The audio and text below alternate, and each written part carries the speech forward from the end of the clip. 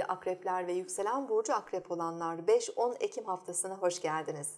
Sevgili akrepler 5 Nisan'da ilişkilerden sorumlu gezegenimiz Venüs Koç burcuna geçecek ve 30 Nisan'a kadar Koç burcunda kalacak. E, bu dönem içerisinde e, özellikle iş hayatınız, çalışma koşullarınız, yanınızda çalışan kişiler, yardım aldığınız kişiler, evcil hayvanlar veya sağlığınızla ilgili konularda Venüs'ten şanslar alabilirsiniz. Ee, küçük de olsa bazı yardımlarla karşılaşabilirsiniz. Ve ayın 6'sında Merkür Boğa burcuna geçiyor. 28 Nisan'a kadar Merkür Boğa burcunda ilerleyecek ve 28 Nisan'da retro harekete başlayacak.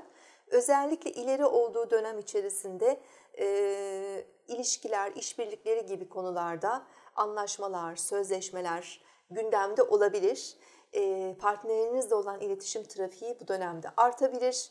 E, yeni konularda bilgi toplamak, e, bazı finansal girişimler, davalar, hukuksal girişimler veya yeni sosyal yaşamda tanışacağınız yeni kişiler daha fazla gündemde olabilir sevgili akrepler.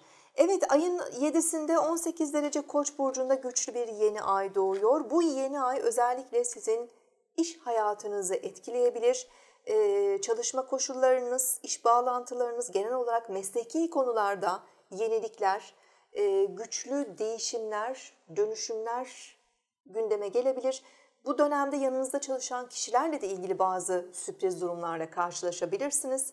Ayrıca sağlığınıza da bu dönemde özen göstermelisiniz. Çünkü yeni ay aynı zamanda sağlık evinizde doğacak. Ee, sağlığınızla ilgili e, bazı sürpriz durumlar ortaya çıkabilir ya da günlük alışkanlıklarınız, e, diyetiniz, beslenmeniz e, bu anlam e, bu konularda bazı yenilikler yapabilir, yeni kararlar verebilirsiniz sevgili akrepler. Önümüzdeki hafta görüşmek üzere. Hoşçakalın.